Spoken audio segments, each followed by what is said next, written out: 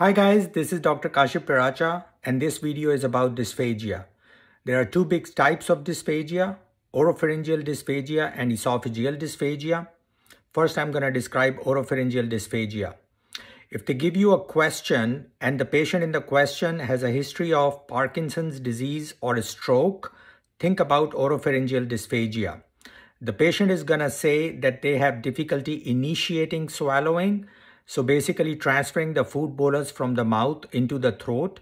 And they most likely are going to have these three symptoms in the question stem. Coughing, choking, or nasal regurgitation of food. Think about oropharyngeal dysphagia. And how do you diagnose it? You diagnose it by doing a test called video fluoroscopy.